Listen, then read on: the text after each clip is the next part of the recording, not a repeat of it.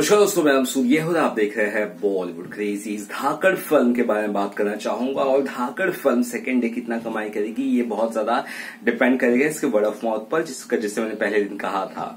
और word of mouth पहले दिन से बहुत ज़्यादा अच्छा नहीं आया है स्पेशली पब्लिक को पसंद नहीं आया केटिक्स को पसंद आया लेकिन केटिक्स अगर 20 25 30 है तो उनको पसंद आ जाए तो क्या फ़र्क पड़ता है?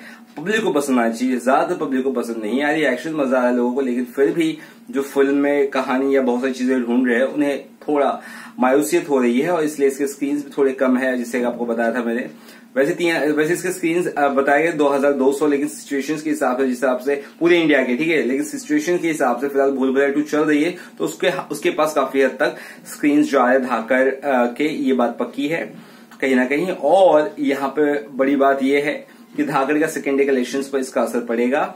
और सेकेंड डे कलेक्शन धाकड़ का बहुत ज़्यादा प्रेडिक्ट नहीं कर सकते। फ़र्स्ट डे फिफ्टी लैख के आसपास बताया जा रहा है। तो second day fifty seventy lakh तक का भी कलेक्शन आया। तो मैं कहूँगा ये बेहतर बात होगी। सेकेंड डे कलेक्शन हमेशा ग्रोथ होता है, लेकिन फ़िलहाल इस फ़िल्म को लेकर जो नेगेटिविटी है या फिर जो चीज़ें लोगों को पसंद नहीं आई फ़िल्म में तो उसकी वजह से फ़िल्म का वर्ड ऑफ़ माउथ नेगेटिव हुआ है और सेकेंड डे पर इसका असर देखने को मिलेगा। और सेकेंड डे अगर किसी भी कारणवश एक करोड़ या उसके ऊपर जाती है तो इस फ़िल्म के लिए बहुत बड़ी बात होगी। लेकिन मैं उतना एक्सपेक्ट फ़िलहाल नहीं कर पा रहा सिचुएशन के हिसाब से। और ऐसे में ये अगर फिफ्टी सेवेंटी लाख भी कमाती तो मेरे ख्याल से बेहतर होगा। लेकिन हाँ जिस तरह का इसका बजट है, जिस तरह से इसका ग्राफ स्केल है, उस हिसाब से कलेक्शन बहुत निराशाजनक है। सिर्फ़ फल कितना है। और हाँ अगर पचास से सत्तर लाख कमाई की तो दो दिन के बाद इसका टोटल हो जाएगा एक करोड़ से एक करोड़ बीस लाख।